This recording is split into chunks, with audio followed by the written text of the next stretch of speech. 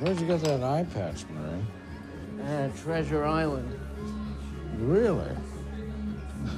I, I heard you, I heard you got it in Sri Lanka, which did. is hard to say sometimes.